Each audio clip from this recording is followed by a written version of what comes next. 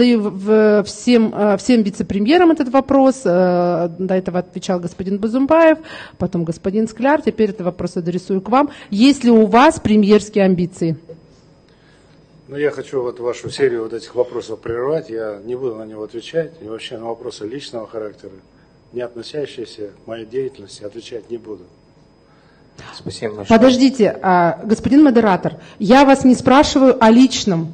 Это говори, э, э, сейчас идет речь о ваших э, амбициях премьерских, имеется в виду, хотите ли вы стать премьер-министром? Ведь плох тот э, солдат, который не мечтает стать генералом.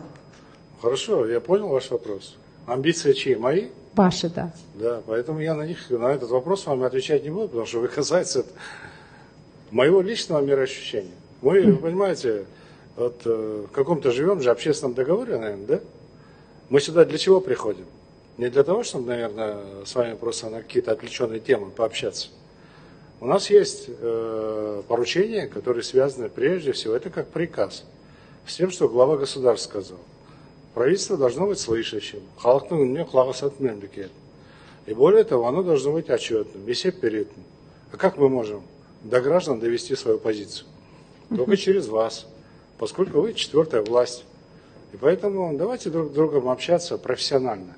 Мы будем доводить информацию, а вы через своих подписчиков, не искажая ее, доносить. Но свое мнение, конечно, можете выражать. А при чем здесь мои амбиции? И кому они интересны? Что я там хочу или не хочу? Надо прекратить подобного рода общение. Я вам уже много раз говорил, на вопросы личного характера я отвечать не буду.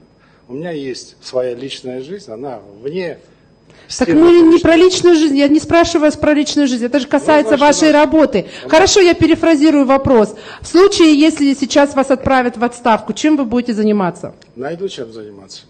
Понимаете, это опять-таки моя личная жизнь. Чем я буду заниматься, как я буду заниматься, вряд ли это вас касается.